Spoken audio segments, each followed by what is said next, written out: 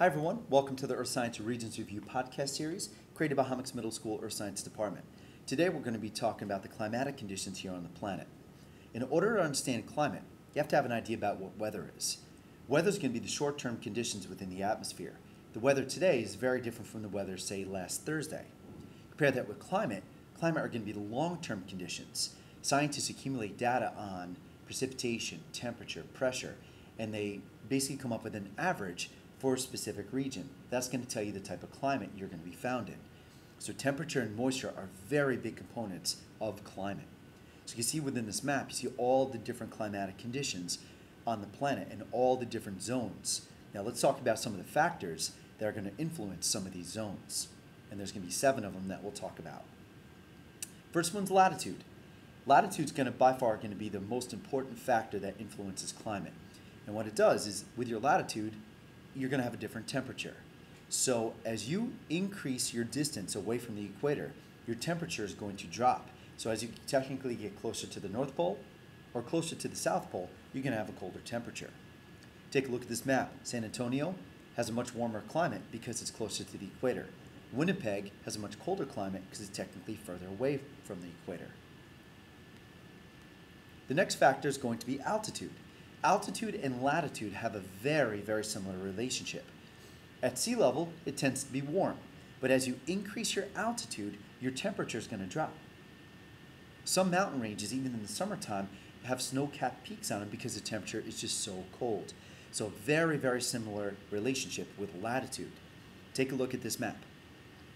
This map has two cities, Guayaquil and Quito. Guayaquil and Quito are, are roughly at the same latitude, but they have different altitudes. Guayaquil is more sea level based.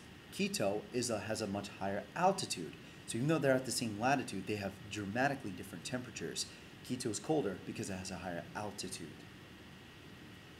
The next factors can be mountain ranges. You have two parts of a mountain. You have what's called the windward side of the mountain. The windward side of the mountain is, tends to be very cool and wet. That's going to be the side of the mountain where moisture is going to be coming off of the ocean. Once that moisture laden air mass hits the mountain range, orographic lifting takes place, which means that the air mass is going to be forced up and over top of the mountain. As that air mass gets forced up and over top of the mountain, expansional cooling takes place. Because there's less pressure at the top of the mountain, the air mass expands. As the air mass expands, it cools to the dew point and you get precipitation. The air mass now is quite dry. And because it's quite dry, it's going to be a little bit more dense. It's going to sink down over top of the leeward side. And as you increase the pressure, as you decrease the altitude of that air mass, those molecules tend to get compressed. So you get what's called compressional warming on the leeward side of the mountain. Here's a quick diagram that indicates that. The windward side's on the left, the leeward side is on the right. Actually, leeward sides of the mountain, because there's such a lack of moisture, that's what we call the rain shadow effect because the air mass is so dry on the leeward side, you tend to get a lot of deserts on leeward sides of mountains. The next factor is going to be oceans. Now, because water has such a high specific heat, it's going to heat very slowly and it's going to cool very slowly. So all that concept, the entire concept of specific heat, is going to have a major impact on climatic conditions, specifically on coastal regions. Coastal regions because your winters tend to have a little bit warmer waters. Okay, your warmer waters tend to hold on to heat energy from the previous summer. Because the water's warm, the air is warm, so coastal regions tend to have a little bit warmer winters. And the summers tend to be a little bit cooler because the water is still cold from the previous winter. Your summertime temperature waters tend to be a little bit cooler. That means your air mass tends to be a little bit cooler. So coastal regions are dramatically influenced by the oceans themselves. And you can see here the difference between Vancouver, which is a coastal city, compared to Winnipeg, which is a more inland or continental city. You see that Vancouver has much, much warmer winters and a little bit cooler summers compared to Winnipeg, which has very cold winters and relatively warmer summers. And the reason why Winnipeg has such a big, big difference in yearly temperature is very simply because land has a low specific heat. It heats quickly and it cools quickly. Ocean currents have a major impact on climates as well. If you live near a warm water current, the air above the warm water tends to be warm. if you live near a cold water current, the air above the cold water tends to be cold. So what'll happen is, again, coastal regions will have warmer winters, and coastal regions tend to have a little bit cooler summers relative to the type of air mass that's going to be associated with. So again, you take a look at Arica and Rio de Janeiro. They have dramatically different temperatures because they're close to different types of ocean currents. You see that Arica is near a cold water current and Rio de Janeiro is near a warm water current. So very, very interesting to see that ocean currents have a major influence on the climate of two cities that are about the same latitude. The last one is going to be your planetary wind belts. Okay, and your planetary wind belts are actually going to go over into, we'll talk a little bit about storm tracks as well.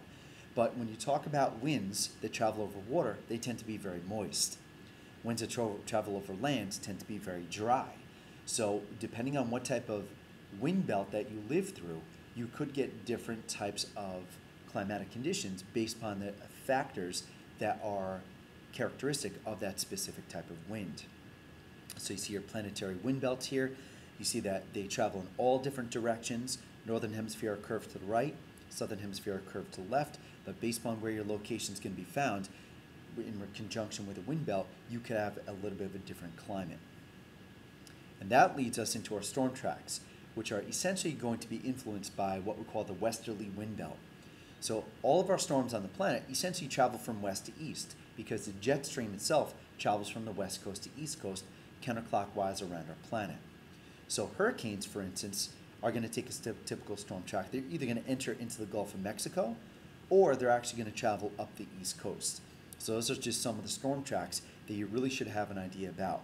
The storms that travel west to east across the United States, for the most part, they're called mid-latitude cyclones. Then obviously our, our hurricanes, which form in the southern Atlantic Ocean, they're going to travel in the direction towards the United States, and they're either going to enter the Gulf of Mexico or travel up the east coast because, very simply, because the wind belts that they travel with and the Coriolis effect as well. So there's our typical storm track of a low pressure center that's called a nor'easter as it travels up the east coast. Okay, that started off on the west coast and traveled east. And then also our typical storm track for a hurricane entering into the Gulf of Mexico there. So that's it for now. Those are just basically some of the factors that influence climate, and we'll talk to you soon. Goodbye.